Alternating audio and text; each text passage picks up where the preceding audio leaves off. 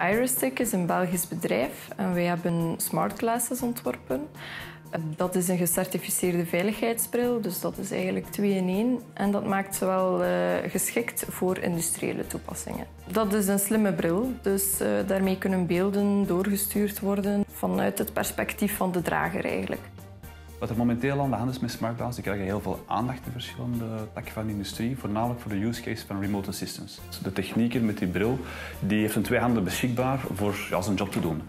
Dus de expert die kan volledig meekijken met hem. Die ziet exact hetzelfde beeld als hij ziet, maar dan op 100 kilometer afstand aan de andere kant van de wereld.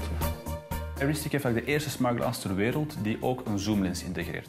Dat houdt dus in dat de technieker kan een klein detail haarfijn in beeld geven voor de expert om zo uh, tot de oplossing te komen. Dat is veel, uh, veel sneller, bespaart veel, veel tijd en dus dat toe om, om snel tot een oplossing van het probleem te komen.